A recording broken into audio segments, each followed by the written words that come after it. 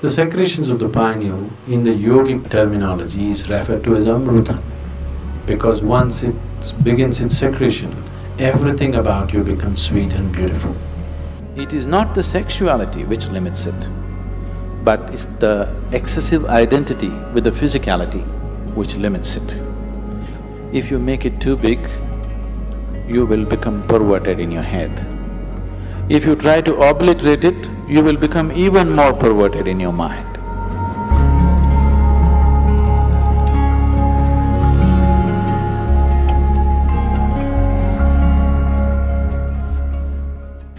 A ninety-two-year-old man went to his doctor for a full medical checkup.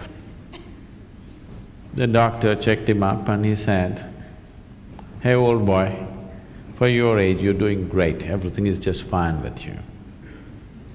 But the man asked, but doctor, what about my sex life? So the doctor asked, thinking about it or dreaming about it?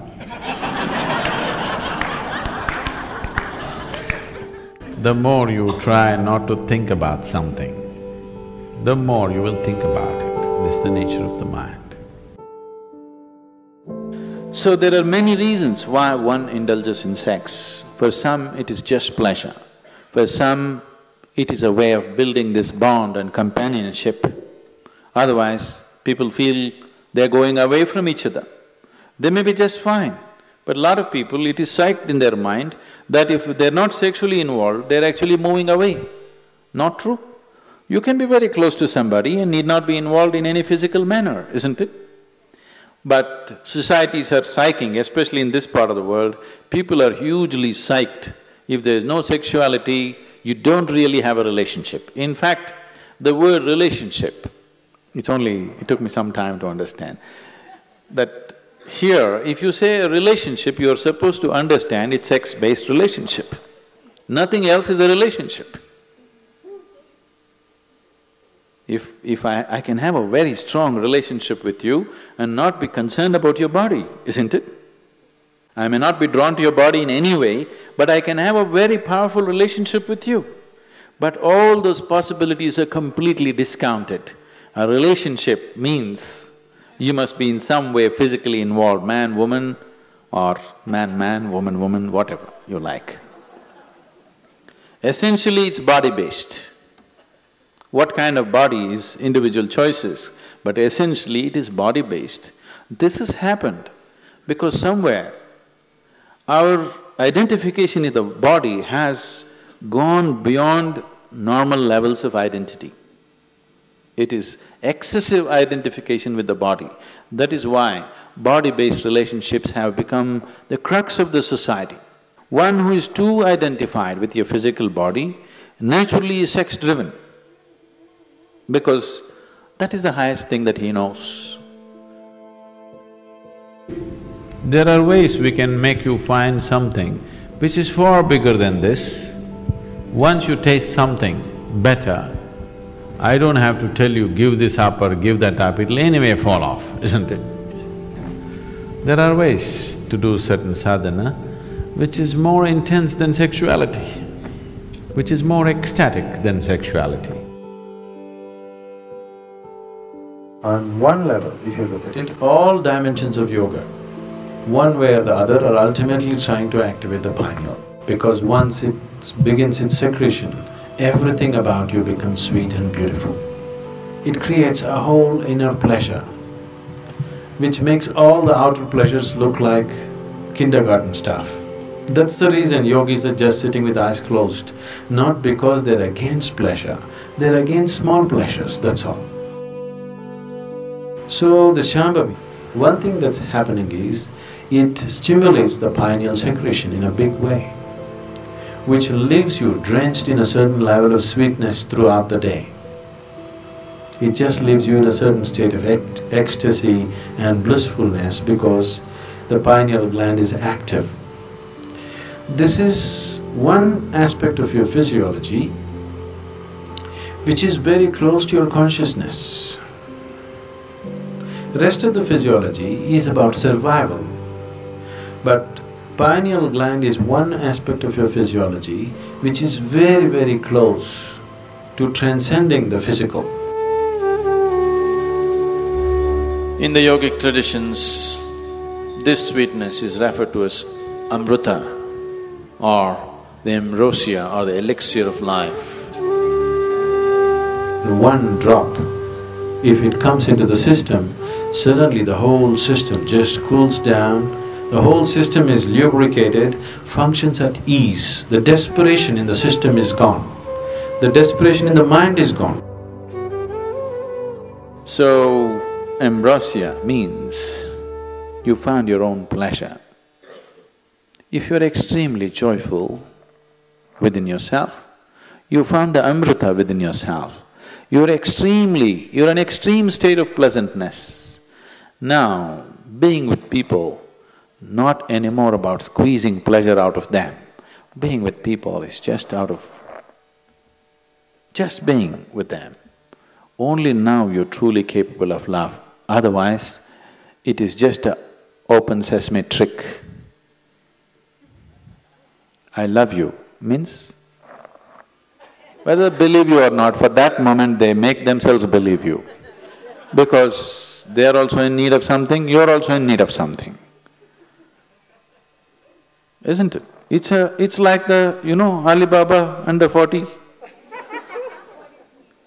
Open sesame means it opens. This is just like I love you means many things open up. Now, by doing this, I'm not saying it's right or wrong, that's the way people conduct their life, there's nothing to it. But by doing this, the true possibility of knowing an intense sense of love within you is lost.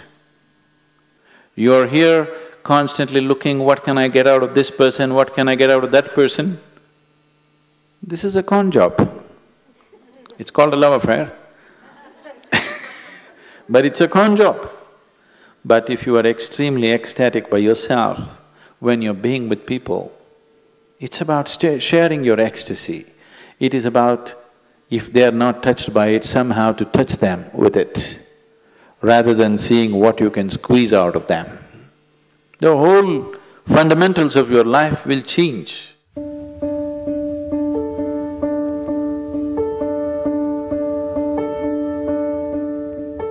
Yes and no in the sense, it is not the sexuality which limits it, but it's the excessive identity with the physicality which limits it. So, it is not sexuality per se which becomes the barrier, but the attachment it creates to the physicality which definitely becomes the barrier.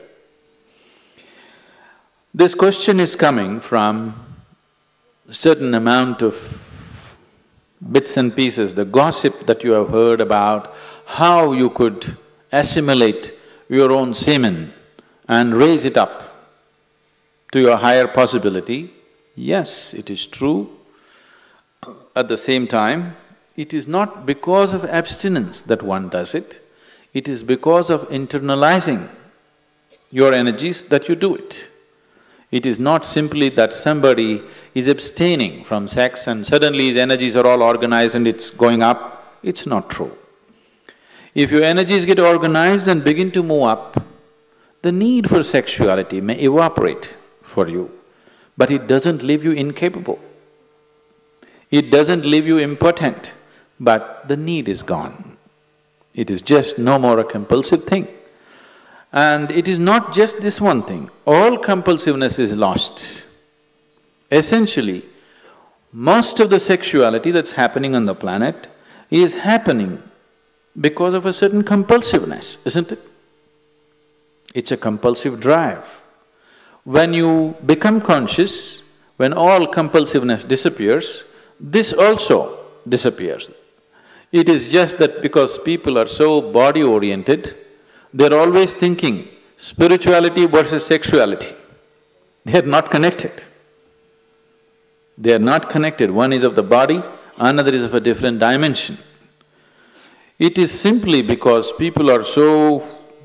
because religions of the world, moral schools and the ethical schools have been always speaking against it, it has become such a big issue in people's minds. They think the only way to know something beyond is, you must be away from this.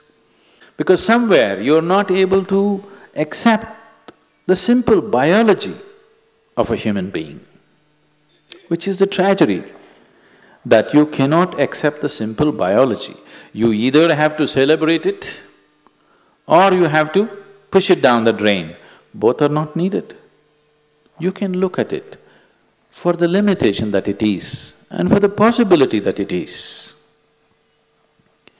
So, if because of the impurity of sex, your spirituality is going to get disturbed, I want you to know that your very birth is impure. When you come from such an impure birth, where is the possibility for you? There is no possibility for you. Only if you fell from somewhere else, if the stoke dropped you, there is some possibility of you becoming spiritual. If you… if your mother had a normal birth, you have no possibility.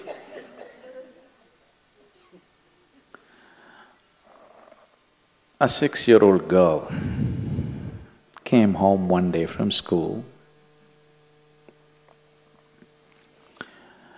and asked, Mama, how was I born? The mother was embarrassed. She said, a stoke dropped you.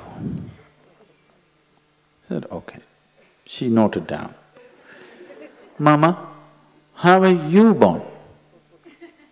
A stoke dropped me too.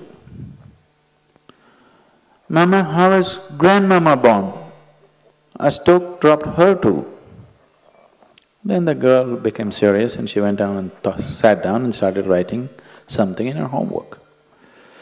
Then the mother was feeling uncomfortable, she finished her cooking and then the girl had finished her homework and left the book there, she went and read. So the essay was about the family tree. So the girl had written, for three generations in my family, nobody had a natural birth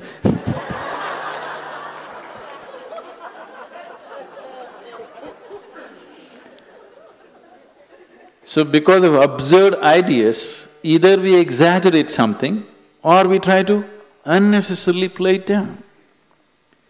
It has a certain role in your life. If you make it too big, you will become perverted in your head. If you try to obliterate it, you will become even more perverted in your mind. After all, now I am speaking, this is a kind of energy. You are looking at me, this is a kind of energy. You're listening to me, this is a kind of energy. These are different expressions of the same life energy, isn't it? Now, sexuality is also another expression of the same energy. Now, one has to decide how much of his energy, in which direction he wants to send it. Because after all, you are a limited amount of energy, isn't it? See, it's just like you have an income, let's say you have five thousand dollars a month. How much for the house rent, how much for eating, how much for schooling, how much just for fun, how much for vacation, your portion, isn't it? Tomorrow morning, you got your salary, in the evening you went out and blew it up. Now the next month is going to be trouble, isn't it? Of course you have a credit card, but everything in your life, if you're handling your life sensibly, everything in your life is apportioned according to your understanding, your need and your capability, isn't it so? Yes? Your money, time, energy, isn't everything allotted the way you like to arrange it? This is also the same thing. How much of it First of all, do you need it? Or are you doing it because of socially you're psyched? If there is a need, if I ask you to stop it, you will become perverted because it'll all happen in your head. If somebody is telling you, you have to do it, if you don't do it, you're not normal, another kind of perversion will come. Both are not needed. After all, you are not going after a man or woman, you are going after a certain level of pleasantness. So once you experience a certain level of pleasantness, wouldn't you like to dig deeper into this? Because whatever pleasantness happened, maybe you use the other person, but the pleasantness happened within you, right? So suppose anyway the pleasantness is happening within you, the other person is just a key to open this, wouldn't you like to have the key in your own hands? Yes? That if you sit like this, you are on full scale. You don't need anybody. No, see, any… anything, anything in your life, either for pleasure, money, love, this, that, it doesn't matter what, for whatever, the moment you become dependent on another person, Nobody on this planet is truly reliable, isn't it? I keep hearing these complaints all over. Some people, generally women, keep complaining their husbands are excessively physical. Some woman constantly complaining, he doesn't lay a finger upon me. Whatever happens, it's a problem because it'll never happen exactly the way you want it. As long as another person is involved, nothing will ever happen hundred percent the way you want it, isn't it so? Yes or no? It never will. It doesn't matter if you get married to your god, it still won't happen. As long as your way of being, your sense of pleasure and joy is dependent on other person, you'll always have a complaint. Doesn't matter how wonderful the other person is. So, in this context, people might have talked about celibacy because uh, they said, take some time off. Don't… because to extract pleasure out of somebody, you have to play any number of tricks. It's, the, it doesn't happen simply. This is called as courting.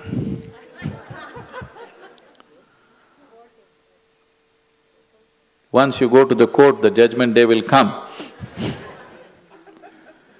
it takes enormous amount of time, effort, energy and all kinds of other things, frustrations, jealousies, problems, everything attached to it. So somebody said, take time off from those things and see if this could be internally generated and then being with people will become more out of your love than out of your need, which is definitely a better way to be with people, isn't it? It is definitely a better way of honoring another human being, isn't it so?